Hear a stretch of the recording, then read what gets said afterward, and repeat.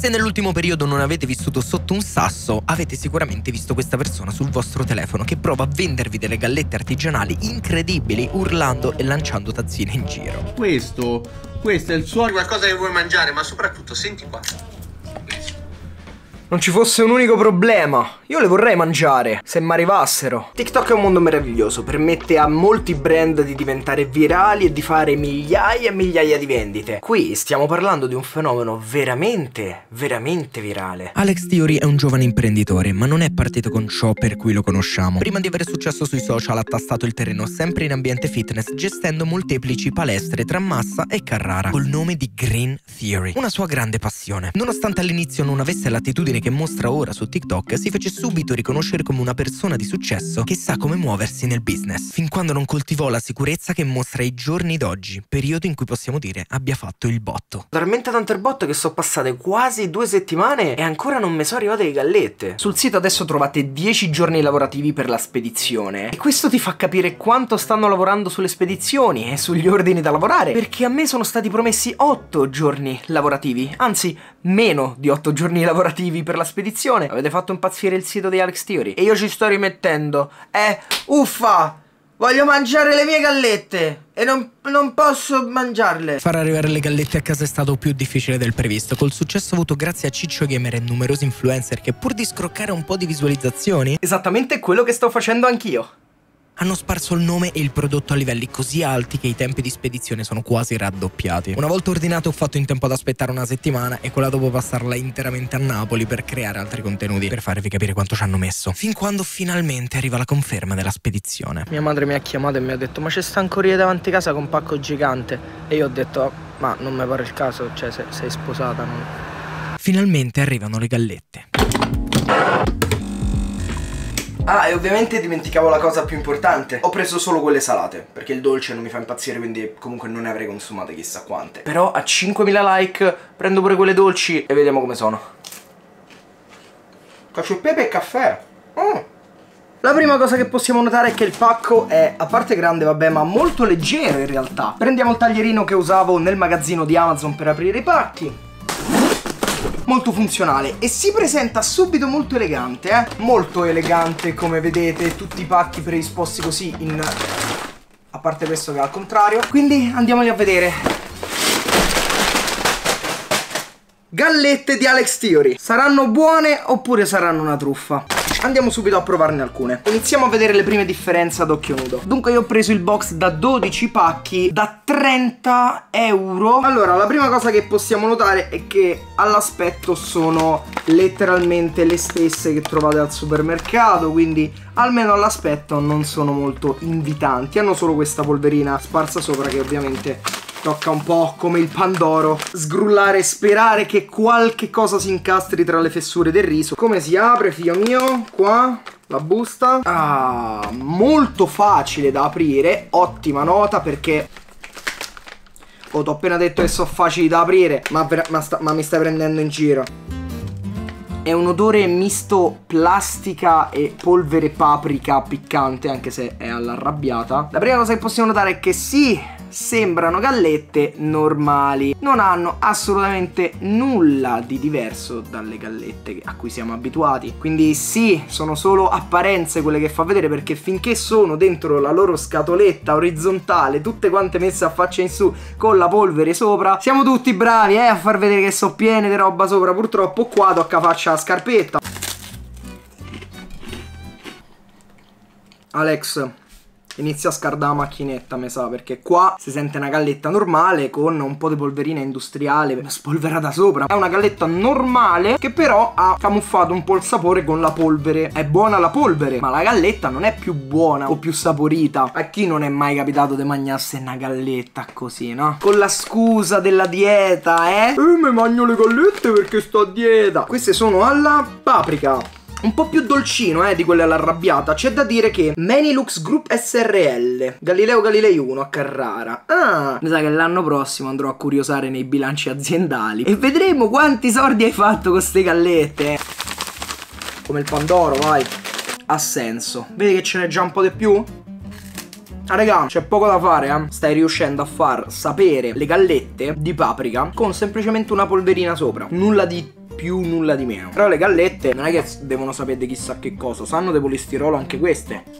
Quindi non ci diciamo cappellate, dai. Giusto la polverina. Non ci sei andato tirchio, ecco, però preferirei averle sulle gallette questa polvere. Si differenzia poco dall'arrabbiata, è solo un po' più dolce. Andiamo a provare il gusto pizza. Oh, eh sì, queste sanno di quei snack salati al gusto pizza che trovate, indovinate dove? Al supermercato. Quegli snackini che ci sono appunto i biscotti così salati, no? Si sente più l'odore che il sapore, giustamente, essendo tutto raggruppato qua chiuso, no? Sì, odore di plastica misto pizza. Quante calorie c'hanno? Queste c'hanno pure meno calorie. Poi è possibile. Perché? Maluccio, eh? Ho pagato più del doppio, ho pagato quasi il quadruplo delle gallette normali e c'hanno solo una polverina aromatizzata sopra. Salsa barbecue. Azzi, dai, dai, su. Mmm.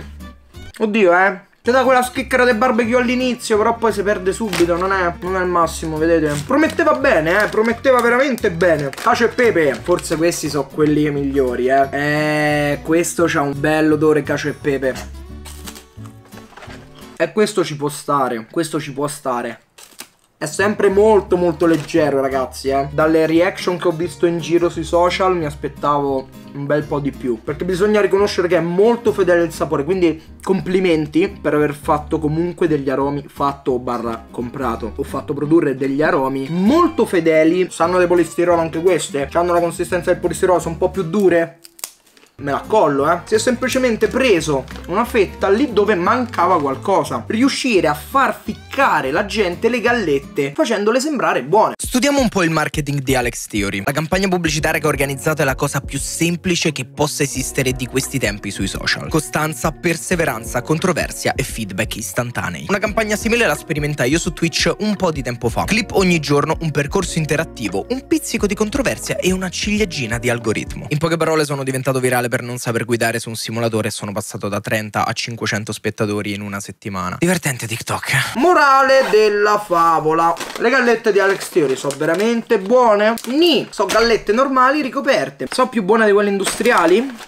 Proviamolo. Ebbene sì, perché sono andato anche al supermercato a prendere le gallette precisamente di mais e di farro per confrontarle. Gallette industriali. Prendiamo le gallette di mais. Queste erano le mie preferite perché il mais si sente abbastanza, sanno di buono, insomma, molto più sottili. Prendiamo un gusto che ci si avvicina, gusto pizza. Galletta industriale, galletta di Alex Theory.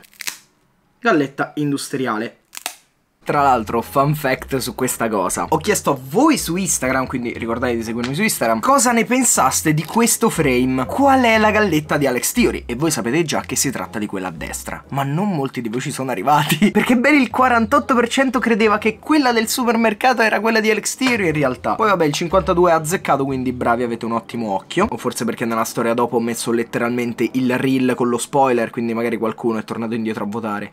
Maledetti furbi. Comunque 1900 di voi hanno azzeccato mentre gli altri 1105 credevano che quella del supermercato fosse quella di Alex Theory. Quindi lo vedi che non sono solo io che credo che quella del supermercato sia più carina, almeno all'aspetto. Per quanto riguarda il gusto invece, lo vediamo adesso. Questa è una galletta al mais che sa di galletta al mais. Questa Alex Theory, per quanto sei stato bravo a camuffarlo, questa qui è una galletta normale un po' meno croccante anzi, che sa più di polistirolo che di questa, perché questa, senti? Mm? La galletta industriale da 90 centesimi croccante sottile, parena chips, a discapito di più calorie, qua avete un po' più carboidrati, un po' più fibre, un po' più proteine, quindi diciamo che un po' più nutritive queste, ecco, hanno quel gusto un po' di mais. Quindi, Alex Theory, gallette industriali da 90 centesimi, sono più buone di queste. Sono più buone, più croccanti. Quando le spezzi, galletta industriale, galletta di Alex Theory, se non bastasse, ho preso altre gallette di farro. Queste hanno molte più fibre, proteine, eccetera, perché ovviamente sono di farro e hanno meno carboidrati. E pare di mangiare farro soffiato a forma di galletta. Puntuale. Sa de farro la galletta, sa de mais la galletta. Questa di cosa sa? Di galletta normale di polistirolo, classica, con un po' di polvere a un gusto aromatizzato. Che cosa sta succedendo qui? Vengono semplicemente buttate in mezzo ad una pioggia, una cascata di aromi industriali al gusto di pizza o salsa barbecue eccetera in forma di polvere. E basta. Eccoci qua. Gallette di Alex Theory gallette industriali. Per vedere se effettivamente sono le gallette o soltanto l'aroma a fare effettivamente le gallette di Alex Theory e come detto non c'è niente di male ad avere cose industriali. Alla fine uno fa il suo business. Il problema è quando dici che queste sono le gallette più buone del mondo spacciandole come gallette più buone al mondo e non gli aromi su delle gallette industriali. E specialmente quando molti di voi me l'hanno confermato la qualità delle gallette, soprattutto l'aspetto, è calato rispetto a come era all'inizio, perché erano artigianali davvero all'inizio. E poi mi avete detto, eh no, troppi ordini, quindi le avrà prese industriali. Non lo so. Galletta ricoperta di Alex Theory, galletta industriale non ricoperta. Ecco qua l'aroma. Galletta industriale con sopra l'aroma di Alex Theory. Questa di conseguenza è ciò che stiamo andando a provare. Galletta di Alex Theory. Buona, normale. Non ho sentito per niente la galletta.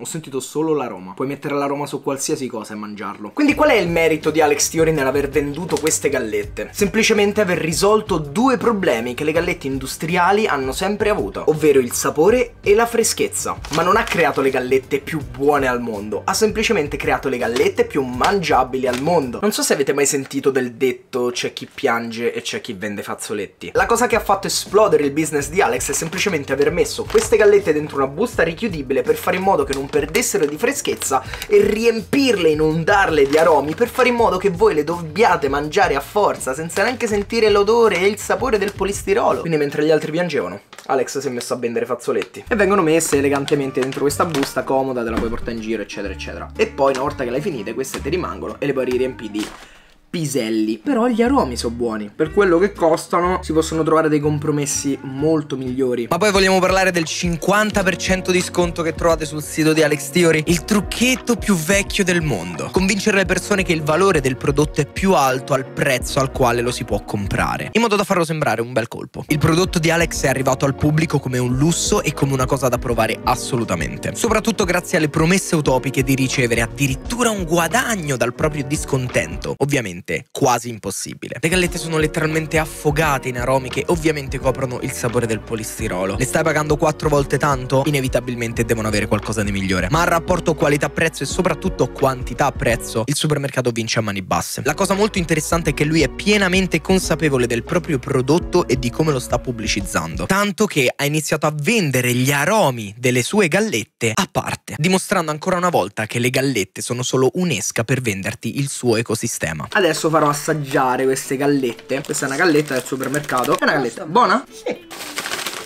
Basta, basta. Mi fai provare. non vedo l'ora Toh, ti do questa che avevo già mezzo mangiato. Tieni. Dimmi un po'. Mmm, È la madonna. che meraviglia. Eh, vabbè, addirittura. Mm. È questo che mi piace. Pare veramente che io, io ho allungato le mazzette. Oh, Alex, ma che hai pagato mia madre? per fare di sta- Mai non ho mangiato così buona. Plot twist. Questo pacco è per me. Ce ne stanno 12 dei pacchi tanto. Te mangeresti questa, mo che l'hai provata? Non mangerei tutte, ma quella è più buona. Le mangerei tutte. Però quella è più buona. Mia madre è molto approvata, molto colpita dalle gallette. Girerò tutti i supermercati per comprare tutte le gallette che riesco. Per vedere se riesco a trovare delle gallette che riescono a essere più buone di queste. Difficilmente le troverò, eh, perché questo aroma è molto forte. Nelle cose sporca un po' perché c'ha tutta la polvere. Quindi, Alex, non mi rimborsare il caffè per il disturbo. Rimborsami per il disturbo per lavare i panni, le cose, eccetera. In conclusione, cosa abbiamo imparato da questo fenomeno virale? Che stiamo pagando un'idea geniale e soprattutto che non avevamo veramente bisogno di queste gallette o di gallette migliori, ma soltanto che uno come lui ce le vendesse.